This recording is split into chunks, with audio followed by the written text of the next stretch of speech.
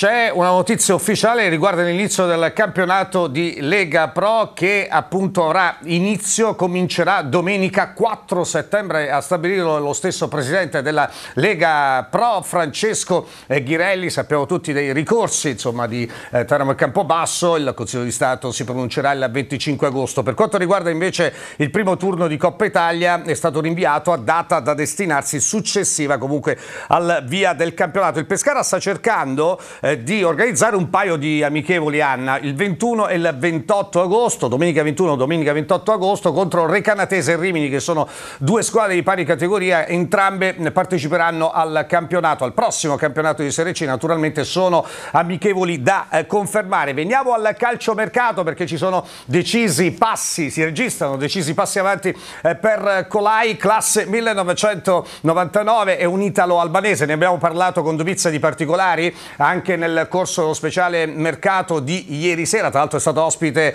via Zoom il presidente Sebastiani e di proprietà dell'Alessandra, lo scorso anno 22 presenze e un gol in Serie B, nato calcisticamente nel Sassuolo, ex eh, Propatria, diciamo che è un giocatore che ha avuto anche esperienza, ha fatto esperienza in Serie C, ebbene insomma eh, la trattativa eh, può essere definita con questo ragazzo anche nel tardo pomeriggio eh, di oggi, dunque attesi sviluppi per eh, Colai che è il trequartista che servirebbe, usiamo sempre il condizionale quanto mai di rigore al tecnico Alberto eh, Colombo. L'altro eh, ruolo che in questo momento deve essere coperto è quello del play, il play puro eh, che dovrebbe essere anche in questo caso, usiamo il condizionale Andrea Ghion, classe 2000 che sta per rientrare al prestito di Perugia al Sassuolo, insomma ci sono conferme da più parti, si attende soltanto il crisma dell'ufficialità. Eh, parliamo anche di Aloy, telenovela infinita anche questa mattina,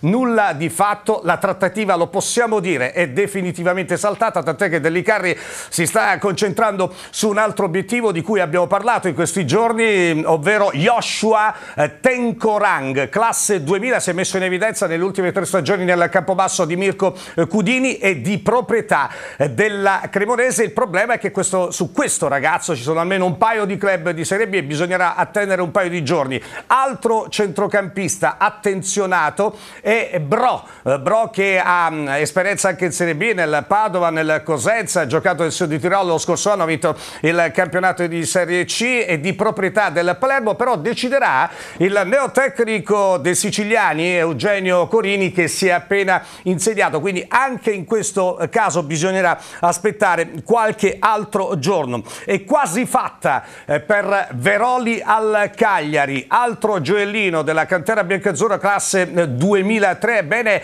ehm, la trattativa è stata eh, già impostata nei dettagli perché vi possiamo fornire anche qualche particolare. Andrà in prestito oneroso eh, Davide Veroli al Cagliari con eh, una serie di bonus più un diritto di riscatto che si eh, tramuterebbe in obbligo di riscatto in caso di promozione in Serie A del Cagliari che quest'anno è stato affidato a Fabio Liverani e comunque Veroli partirebbe subito alla volta di Cagliari. Non succederà come delle Monache che è stato ceduto a titolo definitivo alla Sampdoria ma resterà per un altro anno in prestito al Pescara. Infine Brosco, il ritorno è plausibile, sarebbe plausibile, anche in questo caso siamo il condizionale per non sbagliare Anna, ma non è scontato solo nel caso in cui dovesse partire in grosso. Eh, perché questo? Perché eh, Dellicarri eh, ha come obiettivo ancora Coccolo, Luca Coccolo, classe 1998, difensore mancino di proprietà della Juventus.